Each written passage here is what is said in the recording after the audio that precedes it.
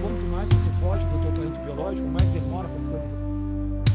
Para um lindo horizonte, agora o meu caminho farei. Sabe a distância que vai. Na timidez, que um aluno até a sabedoria Ele coloca em xeque da poesia. Sua fiel companheira nas sombras do saber. Nós estamos Até apenas que a luz da tecnologia veio a florescer. Lindo horizonte, não sejas cruel comigo. Não me trates com